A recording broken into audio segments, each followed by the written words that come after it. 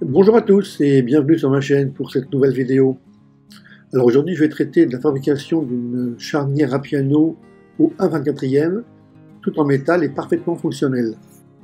A l'origine, je construisais cette Talbot Lago Record 1950 sur la base d'un kit LR au 1,24e et j'étais bien ennuyé parce que j'aurais bien voulu avoir un capot moteur articulé pour pouvoir exposer cette voiture une fois finie, capot fermé ou bien ouvert, selon l'humeur du jour. Mais LR, comme la plupart des fabricants de maquettes de voitures au 1,24e, ne fournit pour les capots, quand ils sont en deux parties, que le genre de pièces plastiques chromées que vous voyez sur cette photo. Bon, c'est pas très vilain, mais ce n'est pas très réaliste, vu l'absence de segmentation du bidule. Et surtout, ça n'est pas articulé. Alors quoi faire? Vous avez tous probablement vu, comme moi, sur les forums ou sur YouTube, des tonnes de charnières de capots articulés. Mais souvent, elles sont très simplistes elles n'ont pas autant de segments qu'il en existe sur les charnières de capot des voitures vintage. Il me fallait donc trouver une solution. Et c'est ainsi que l'idée complètement folle de fabriquer une vraie charnière à piano, fonctionnelle, m'est venue. J'avais décidé qu'elle serait tout en laiton, puis nickelée, pour obtenir ce résultat. Alors au boulot les gars. Mais avant cela, générique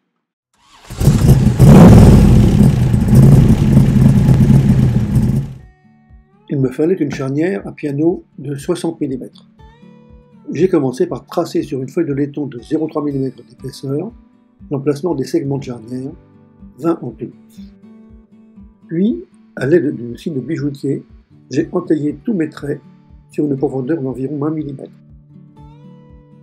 Ensuite, à l'aide de différentes lignes d'aiguille, j'ai fait disparaître la matière entre deux traits en sautant un trait à chaque fois de façon à obtenir ce que vous voyez ci-dessous. J'ai choisi un tube de laiton de 0,6 mm de diamètre extérieur et 0,4 mm intérieur pour fabriquer l'axe de rotation de la charnière. Et je l'ai soudé par brasure à l'étain après l'avoir placé sur la feuille de laiton de façon à ce qu'il recouvre exactement le bord extérieur de la zone crantée que je venais de réaliser sur celle-ci. Ce travail s'est avéré plus difficile et plus long que je ne le pensais mais à la fin, j'ai obtenu ce que vous voyez à l'écran, un assez bon résultat.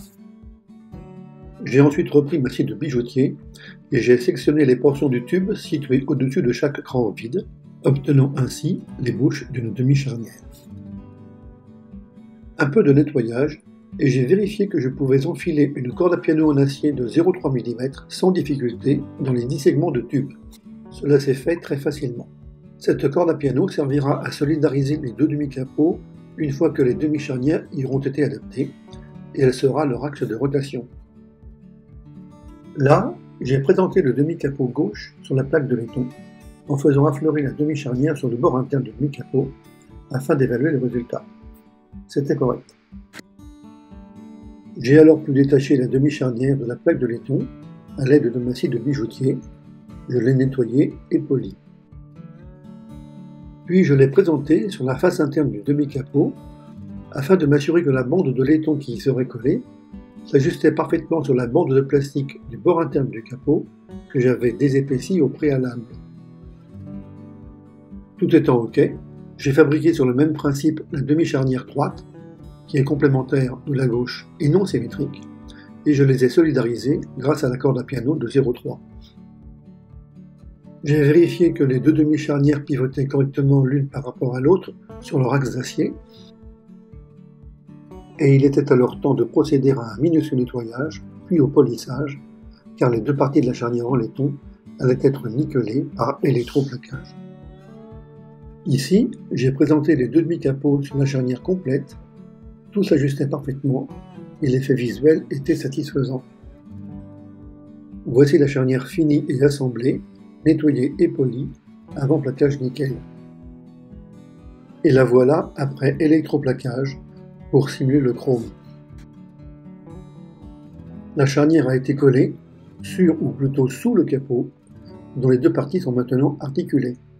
Et c'est beaucoup plus ressemblant ainsi à un authentique capot moteur de voiture classique. Pour conclure, en toute honnêteté, si je devais un jour fabriquer de nouveau une telle charnière à piano, pour une maquette à cette échelle ou à une autre, il est probable que je n'utiliserai plus cette méthode. Certes, elle est gratifiante quant au résultat obtenu, mais elle est assez difficile à mettre en œuvre, chronophage et au final assez onéreuse. À la place, j'emploierai très certainement l'impression 3D, et cela pour de nombreuses raisons. Simplicité, efficacité, rapidité, coût et parfaite régularité des segments de la charnière, ainsi qu'une grande facilité de mise en peinture avec les peintures chromes d'aujourd'hui qui donnent des résultats vraiment bluffants. Merci d'avoir regardé cette vidéo. J'espère qu'elle vous aura donné envie d'aller plus loin et qu'elle vous aura donné des idées. Si vous l'avez apprécié, mettez-moi un pouce levé s'il vous plaît et n'hésitez pas à partager, à me faire part de vos commentaires ou à me poser des questions, je les lirai avec attention et j'y répondrai. Pour ne manquer aucune de mes vidéos, visitez ma chaîne et pour me soutenir, abonnez-vous en n'oubliant pas d'activer la petite cloche pour être prévenu immédiatement de toutes les prochaines sorties. À bientôt.